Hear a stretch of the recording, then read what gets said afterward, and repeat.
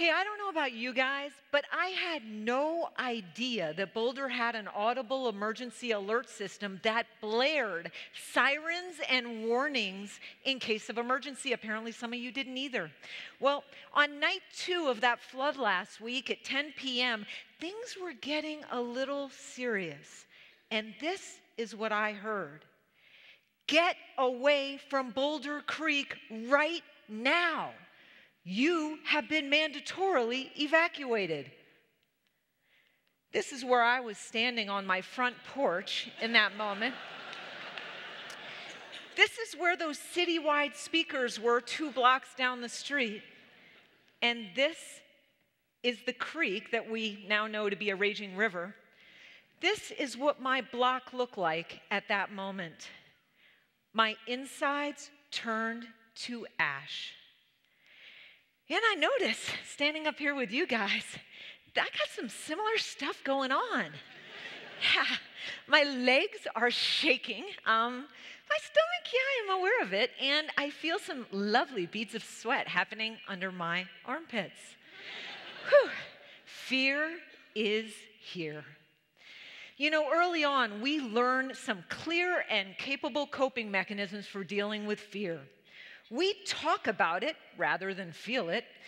We minimize it. Hey, it's no big deal. We conquer it or push through it. We avoid it. Forget it. I'll go do something else. We fake it. Hey, I'm not afraid.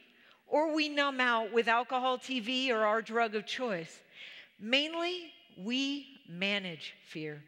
Over the course of our lives, we figure out that list of the things that scare us, and then we enlist the support of our friends, our significant other, and even ourselves to stay away from those hot spots.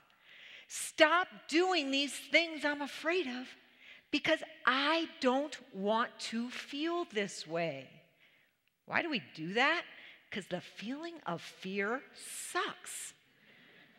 So, I'm completely familiar with these fear mitigation techniques, but lately I've tried to do something completely different.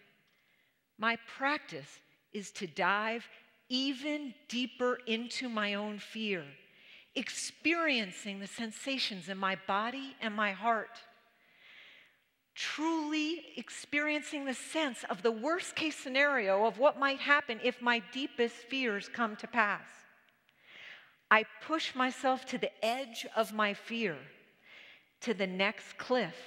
And when something that scared me last week doesn't scare me anymore this week, I try to push myself to the next edge of the next cliff. Why in the world do I do this?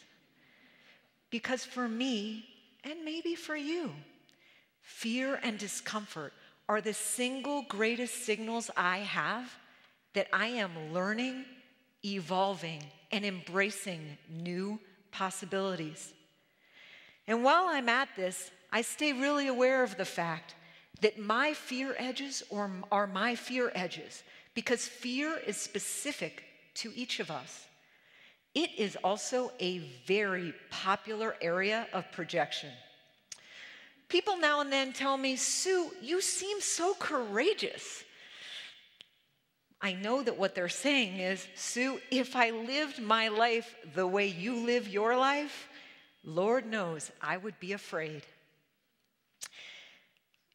See, the fact is, I'm actually aware that there are a wide range of things that don't scare me at all, like breaking my own heart again and again, like deciding that my last job was my last job and stepping into the unknown, like choosing to get divorced twice.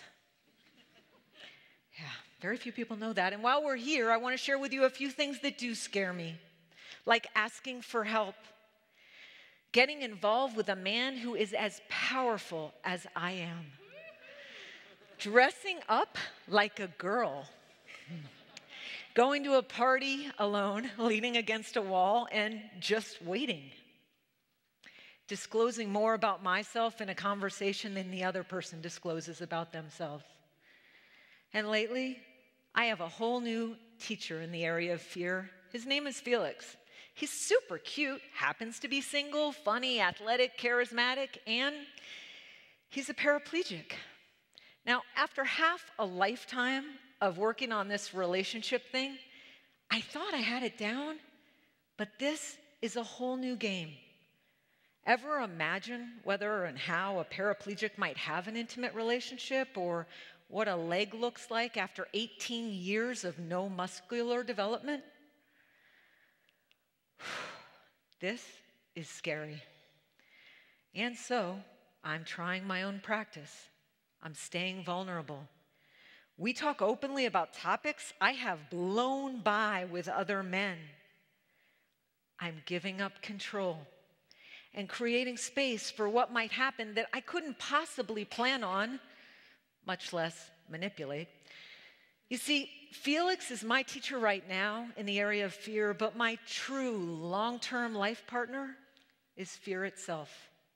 And for me, it is a faithful, omnipresent, loving companion.